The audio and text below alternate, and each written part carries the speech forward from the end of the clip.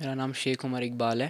میں burn house school میں پڑھتا ہوں۔ ٹینتھ کلاس میں میں نے ریسنٹلی ٹینتھ کلاس کا ایگزام دیا ہے۔ اب میں الیونتھ میں چڑھ گیا ہوں۔ میں نے سبجیکٹ بھی میڈیکل پکڑا ہے اور I am fond of ice skating میں بچپن سے آئس اسکیٹنگ کرتا تھا۔ میرے پیرنٹس کا اس میں بہت سارا سپورٹ ہے۔ Without my father it's not it will what possible کہ میں آئس اسکیٹنگ انٹرنیشنل تک پہنچ پاؤں۔ یہ میرے پاپا کی وجہ سے سب کچھ ہے اور اس میں ہمارے کوچ کا بھی بہت سارا ایفرٹ ہے۔ وداؤٹ آر کوچ یہ بھی مشکل تھا بہت۔ ان نے ہمیں ice skating rink minus twenty میں ہم گلمرگ میں صبح ساڑھے چھ سے واک کرتے تھے۔ سات تک پھر سات بجے رنگ پہ جاتے تھے۔ کبھی دن میں رنگ میلٹ ہوتا تھا تو ہم رات کے ایوننگ میں کرتے تھے، دو بجے سے سیشن رات کے دو بجے سے صبح تک۔ اسی کی وجہ سے میں نے انڈیا کے لیے دو میڈلز بھی نکالے نیشنل میں۔ Two thousand thirteen two thousand fifteen میں اور ریسنٹلی پچھلے سال سلور نکالا انڈیا کے لیے۔ اب میں انٹرنیشنل کے لیے سلیکٹ ہو گیا ہوں۔ تو ہمیں اب ٹوئنٹی سیون ڈسمبر کو رپورٹ کرنا ہے سنگاپور انٹرنیشنل کے لیے۔ وہاں open short track C championship ہے تو اسی کے لیے ان شاء اللہ میں میڈل نکالوں گا۔ میں نے بہت محنت کی ہے، میرے فرینڈس کا بھی بہت سارا ہاتھ ہے۔ میں صبح اسٹیمنا اپنا بڑھانے کے لیے جاگنگ کے لیے جاتا ہوں، اس کے لیے میرا فرینڈ بھی میرے ساتھ آتا ہے۔ میں یہاں سے لگ بھگ نشاد تک جاتا ہوں دوڑتے دوڑتے اپنا اسٹیمنا ریز کرنے کے لیے۔ میں لگ بھگ لگ بھگ ہر کوئی اسپورٹس سوئمنگ سائیکلنگ وائکلنگ وغیرہ ہر کچھ کرتا ہوں اور میری اچیومنٹس بھی ہے بہت، لیکن اسکیٹنگ کا کچھ الگ ہی ہے میرے میں بچپن سے کرتا تھا اسکیٹنگ میرے پیرنٹس نے میرے کو ایک دن اسکیٹنگ بوٹ ہاتھ میں دے دیا تو میرے کو اس کی اٹریکشن آ گئی۔ تو پھر میں اسکیٹنگ کنٹینیو کرتا تھا۔ اسکول نے میرے کو پھر اہیڈ کیا۔ پھر میں نے اسٹیٹ کھیلا، پھر میں نے نیشنلس کھیلے۔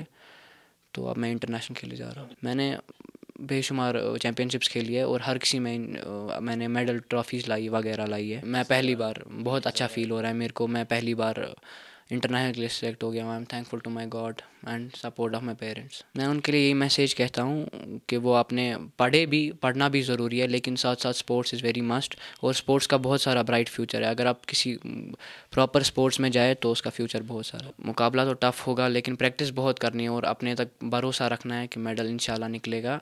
اور ایکسپوجر بھی بہت سارا ملے گا۔ بعض باقی ملکوں کے بچوں کے ساتھ بات کرنے کا موقع ملے گا۔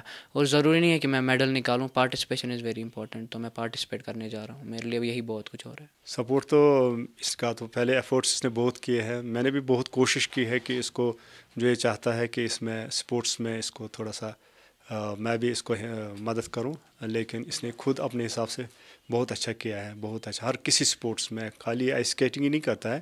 یہ سائیکلنگ بھی اچھا کرتا ہے، کرکٹ بھی بہت اچھا کھیلتا ہے۔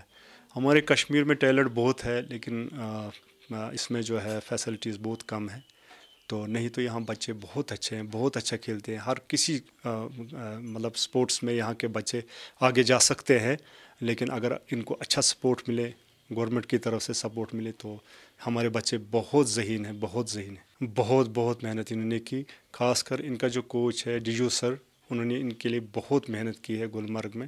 وہ ان کو رات رات میں بھی اسکیٹنگ کرواتا تھا کیونکہ دن میں یہ میلٹ ہو جاتا تھا آئس۔ تو رات کو ان کو نکالتا تھا، رات کو کرواتا تھا۔ اس کے بہت ایفرٹس اس نے بہت محنت کی ان کے اوپر۔